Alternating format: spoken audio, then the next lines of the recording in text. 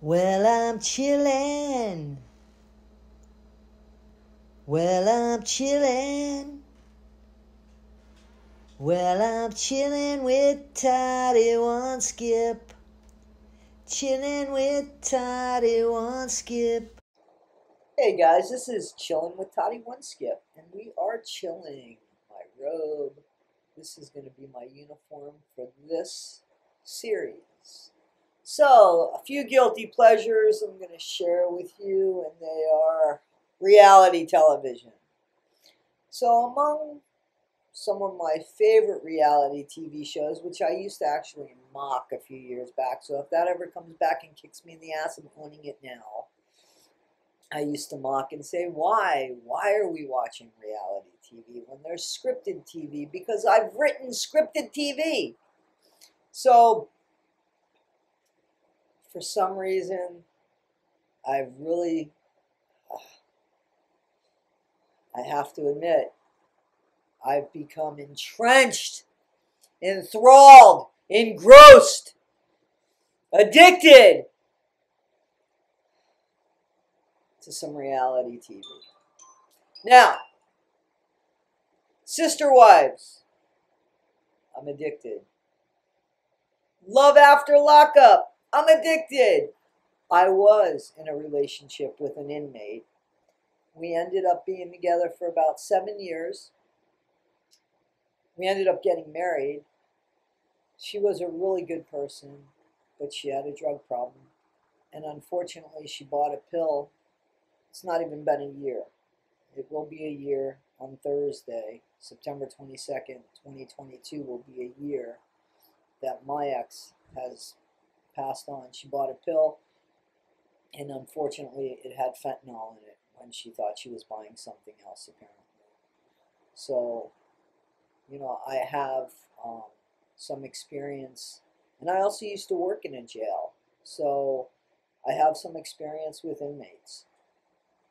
So, love after lockup, life after lockup, anything to do with friggin' lockups, I will go out of my way and look at a jail because not only that, I had my own business where I sold greeting cards in jails before greeting cards were sold in jails. True.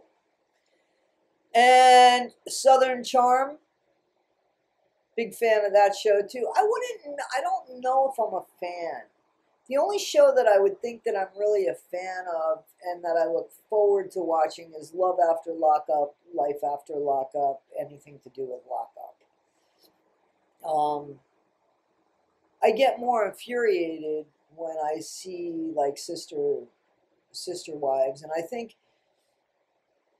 because of the unfairness of that, I jump in and say, "What you morons? You can't see your own behavior here. Well, I'm going to rip you apart on that behavior." When it comes to people like Robyn Brown and Kody Brown, who are just they just don't care. It's not that they don't see it; they don't want to see it. You could show it to them and that's all that could be within their vision, but they still don't want to see it. So maybe we'll scream it. So, yeah. So right now, I think that I just want to get into like those three shows. If there's more shows that I want to get into, you know, don't don't hold me accountable just for these three shows and tell me that I'm only don't police me only into these three shows.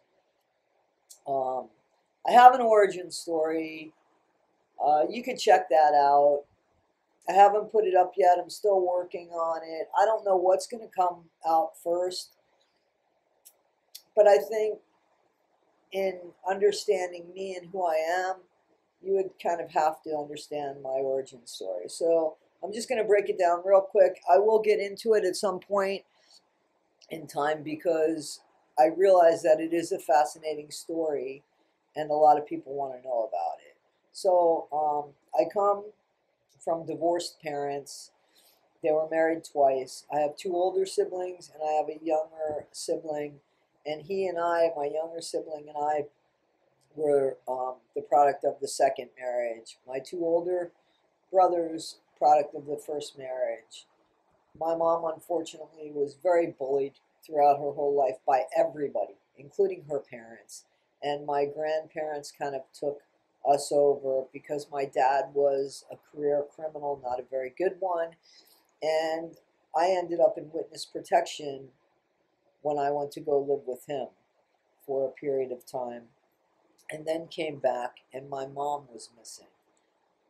I was able to find my mom um, because what she did was kind of say, I'm done with this. I'm marrying this person over here and I'm starting a new life. That didn't really work out well for her when I showed up after witness protection. So I worked in corrections where I was um, the kitchen manager of a county jail in Virginia. And then I went to commissary manager of uh, the jail in Virginia and also worked at a second jail distributing commissary. So I was not in corrections. I worked directly with the inmates. They were my employees. Um, from there, I uh, met my the woman that would soon be my ex-wife and deceased very good friend. Um, I came into some money. My dad, who got out of witness protection after doing time, legitimately made a multi multi million dollar business. Legitimately, he gifted us money, and I opened up a recording studio. Unfortunately, I was robbed into my second year of the recording studio, and I really was afraid to go back there into the studio. And we had security. Well, having security guards in a recording studio is not a very creative uh, flow. And, you know, I'll be honest, people that create sometimes want to indulge in um, some illegal activity. And from my understanding, there was some weed smoking in my bathroom. This I found out later. And uh, I, I knew about the weed smoking in the parking lot. Well, you can't do that when you have security guards because they, you know, there were security guards that were armed. So you just, it kind of infringed on the creative process of stuff. However, saying that, I did um, I did help at least one artist um, that was on The Voice and who has since passed on. And I think she came in fourth on The Voice and, and um, actually uh, toured with Steve Vai. So,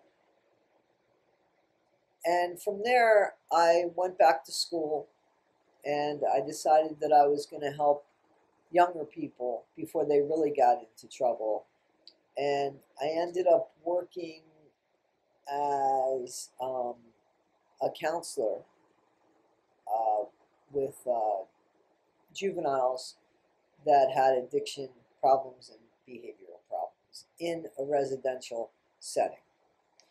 So I did that for about five years. And so I've been around the block a few times. I've done a few things. Um, I've ha- I have my own survival story and I've studied a lot of behaviors. I don't have a degree in that, um, but I have schooling that can back me up in that. And you know, my life experience. I'm not young anymore. I'm I'm young to 80 year olds, but I'm not so young to 20 year olds. Anyway, um, yeah. So that's the story of my channel right now, and uh, or at least this segment of my channel because I have a lot going on, I guess, and I'm still trying to find my way. Um, as I said, creative, and uh, I, I write fiction, and I read nonfiction. So we'll see what happens here, and I'm hoping you guys will come along for the ride as we call people out on who they are because I guess the bottom line in everything here is that being fair is the most important thing to me. That would really be my origin story. I believe that I actually might have that up already. So, anyway, let's do this. Well, I'm chillin'. Well, I'm chillin'. Well, I'm chillin' with Toddie One Skip. Chillin' with Toddie One Skip.